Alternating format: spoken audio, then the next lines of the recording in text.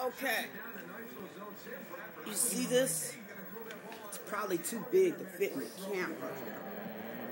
But this glass was a Christmas gift from my friend Susan Norwood.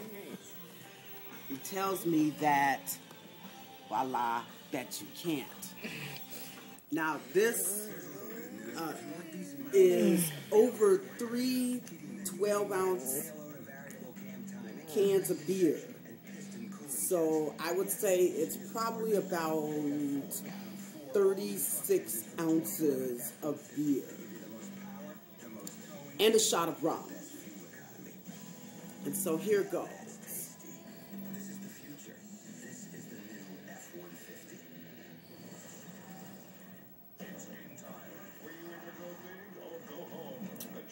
Uh, Anita versus beer. Who will win? Beer or Anita? I have 30 minutes to finish this challenge. We are now in minute three.